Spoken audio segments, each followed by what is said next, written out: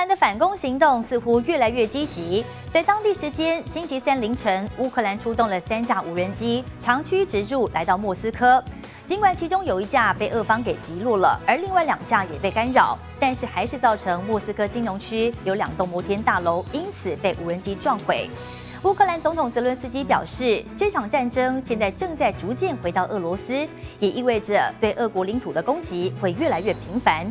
但是，俄国前总统梅德韦杰夫则警告，要是乌军反攻成功了，俄国将会被迫动用核武。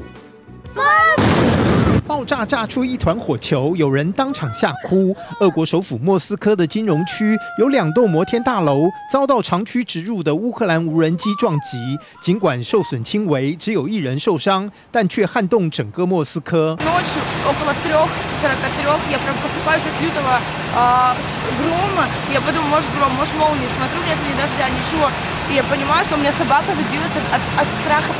乌克兰三十号出动三架无人机攻击莫斯科，其中一架被击落，两架被干扰。坠落的无人机击中建筑物。Slower progress, but a lot of pressure certainly because the NATO supplies of weaponry, the West certainly wants to see some kind of change in the battlefield before winter sets in. 俄国前总统梅德韦杰夫警告，如果乌军反攻成功的话，俄国将被迫动用核武。但乌克兰似乎踌躇满志。Україна стає міцніше.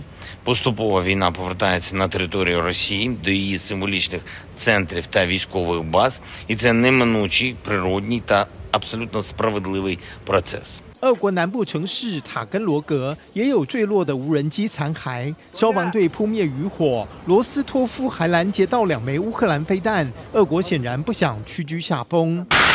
前两天，乌国东北部的苏梅遭到俄国飞弹攻击，造成多人死伤。俄国总统普廷在海军节教阅战舰和核潜舰，还宣布俄国海军今年将接收三十艘新船舰。看来和平之日似乎遥遥无期。刘永伟编译。